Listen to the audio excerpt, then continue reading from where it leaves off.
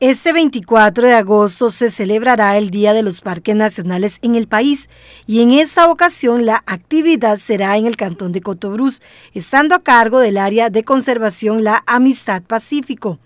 Este día se hará el lanzamiento oficial de la Reserva Biológica del Bicentenario de la República Pájaro Campana, localizada en este cantón. La misma fue establecida en septiembre de 2020 mediante el decreto ejecutivo 42615-MINAE. Se trata de la novena reserva biológica estatal del país.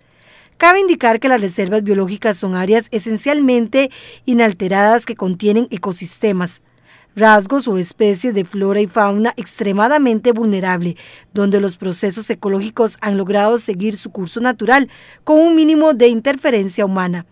Dentro de lo que está en el programa de actividades se tendrá una gira de campo con el presidente de la República, Carlos Alvarado. Luego en la tarde se llevará a cabo el acto de celebración en la Casa de la Cultura en San Vito. Cabe indicar que desde este lunes y hasta el miércoles habrá charlas en diferentes centros educativos y una mini feria de emprendedores.